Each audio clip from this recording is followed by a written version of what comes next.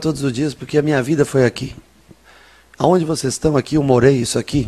Posso dizer para você, era uma sala aqui, tinha orelhões, sabe, ficha? As pessoas que estão na internet hoje comentando não conhecem ficha de orelhão.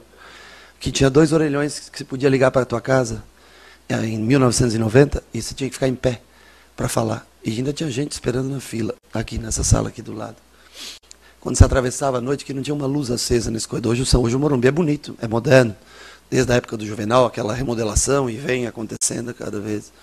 Então, assim, é, eu vivi tudo que você pode imaginar aqui. Eu vivi aquela, as glórias de 92, 93, 94, o restinho daquela Copa Comembol quando nós ganhamos, 95, 96, 97, aí 98 com aquele Campeonato Paulista, quando a gente ganha 90 e, é, 2000, outro Campeonato Paulista, né, começando a reagir depois daquela sinal, né, depois tem a Copa 2002, aquele Super Paulistão de 2002, desce 2003, aí ganhamos classificação para Libertadores. 2004, semifinal contra o Once Caldas. 2005, campeão do mundo, campeão da Libertadores, campeão paulista, 2006, Brasília. Eu vi tudo. Tudo que você possa imaginar. Eu gosto desse clube. Você acha que eu trabalho aqui pelo meu salário?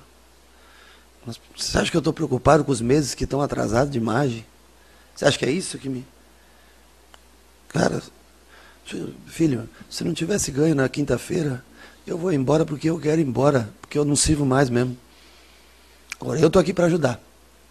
Se eu não sou o cara certo, pô, treinador no Brasil, gente, tem de monte. Você acha que eu estou me preocupado com a minha multa rescisória? Façamos o seguinte: dia primeiro, se não ganhar, eu abro mão da minha multa rescisória e vou embora sem problema. Pronto. Vocês acham que eu me preocupo com o que comigo? Eu amo, adoro São Paulo. É, eu tenho o maior prazer do mundo em vir trabalhar aqui. Com todas as dificuldades que tem todos os dias. E tento convencer esses caras que o São Paulo tem uma história gigantesca e que as coisas um dia têm que entrar nos trilhos. É, agora com a venda do Anthony, né, a promessa de tentar, e vai, eu acho que vão conseguir fazer tudo. Você acha que eu estou aqui pelo dinheiro que eu recebo por mês?